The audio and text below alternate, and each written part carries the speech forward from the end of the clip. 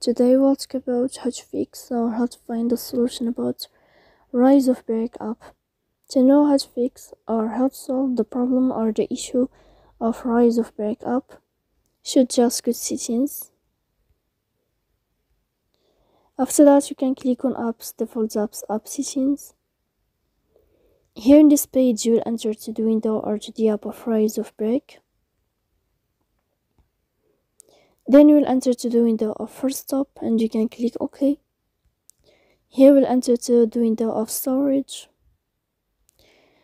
Then you can click clear cache, but pay attention, don't click clear data because that can delete your account or your game. In the end, you can go to Play Store to update your app, so please don't forget to